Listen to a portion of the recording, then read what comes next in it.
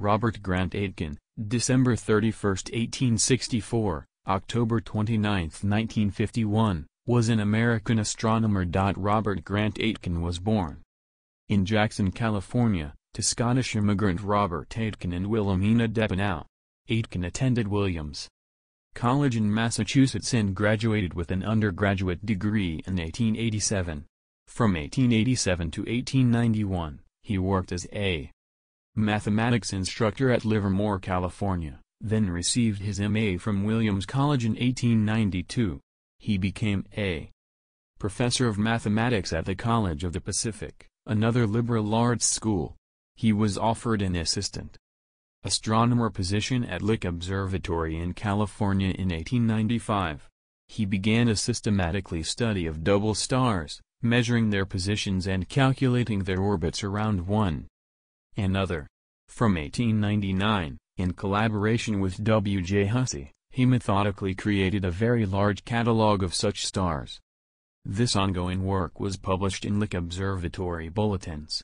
In 1905, Hussey left and Aitken pressed on with the survey alone, and by 1915, he had discovered roughly 3,100 new binary stars, with an additional 1,300 discovered by Hussey.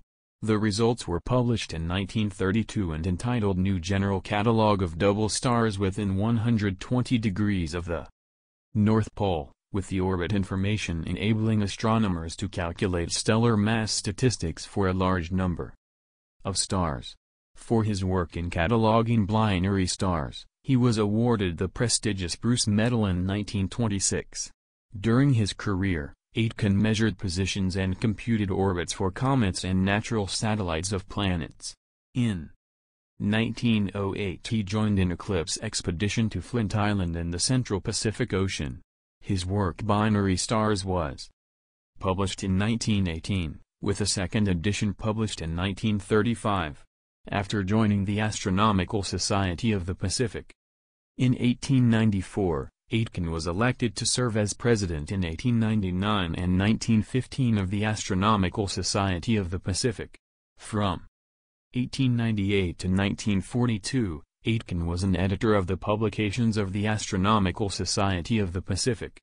In 1932, he delivered the Darwin Lecture before the Royal Astronomical Society, where he was an associate member. From 1918 to 1928, he was chair of the Double Star Committee for the International Astronomical Union. Aitken was partly deaf and used a hearing aid. He married Jessie Thomas around 1888 and had three sons and one daughter. Jessie died in 1943. Robert Thomas Aitken was one of his sons. His grandson, Robert Baker Aitken, was a widely known Zen Buddhist teacher and author. His granddaughter Marjorie J. Vold was a noted chemist specializing in colloids.